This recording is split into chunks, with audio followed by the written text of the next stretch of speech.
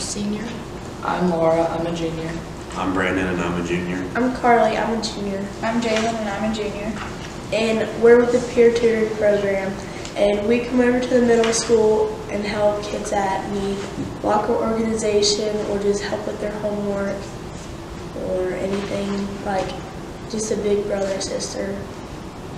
Like, if you say you have divorced parents or rough home lives or anything like that, you, we would come over, and talk to you about that, less with the schoolwork, but more of like helping you out, like trying to figure out what you need to do. Like, if school's like a safe place for you, you can get out of all the troubles. We're here to like help your day go better. If this pertains to you, go talk to your counselor.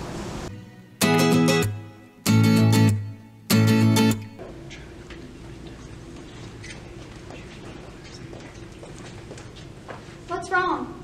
Um, I'm having some trouble at home. My parents are arguing, so I can't really concentrate in school. Don't you think you can talk to like the counselor or something? No, I think I prefer someone close to my age that'll understand me better. I might be the person that you need. Man, this homework is hard. I wish I had some help on it. Why don't you talk to your counselor and try to get a tutor? I'll consider that. I think I might be the person you need. All right, let's check out this locker. Holy cow, this is a mess. Let's try to fix this. Now that's better.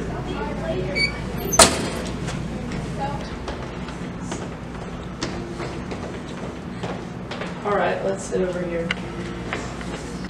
So, how's your day going? Um, not so well because me and my friend had an argument earlier about a boy. Well, you're in middle school. You don't need to worry about boys. You need to focus on your friends, but also don't let that affect your schoolwork. If any of this pertains to you, talk to your counselor about joining peer tutoring today. Peer tutoring on three. One, two, three, peer tutoring! Come through. Wait. McKaylee? If I press the red button once, does that start filming? Yeah. Red? Oh, jeez, I started videotaping.